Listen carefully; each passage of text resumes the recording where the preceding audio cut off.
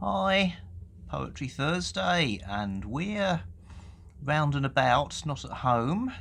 Uh, so, just a quick one this week. Over to Jennie. Hello, everybody. Um, so, yeah, Roy bought a book today called A Poem for Every Spring Day. So, I'm reading the poem for the 7th of March, which is the very day on which you will hear me say it. What's the plan? And it's called But These Things Also, and it's by Edward Thomas, about whom I know nothing really. Hey ho, on we go. But these things also. But these things also are springs.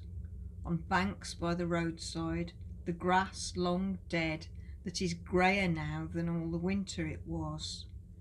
The shell of a little snail bleached in the grass, chip of flint and mite of chalk, and the small bird's dung in splashes of purest white.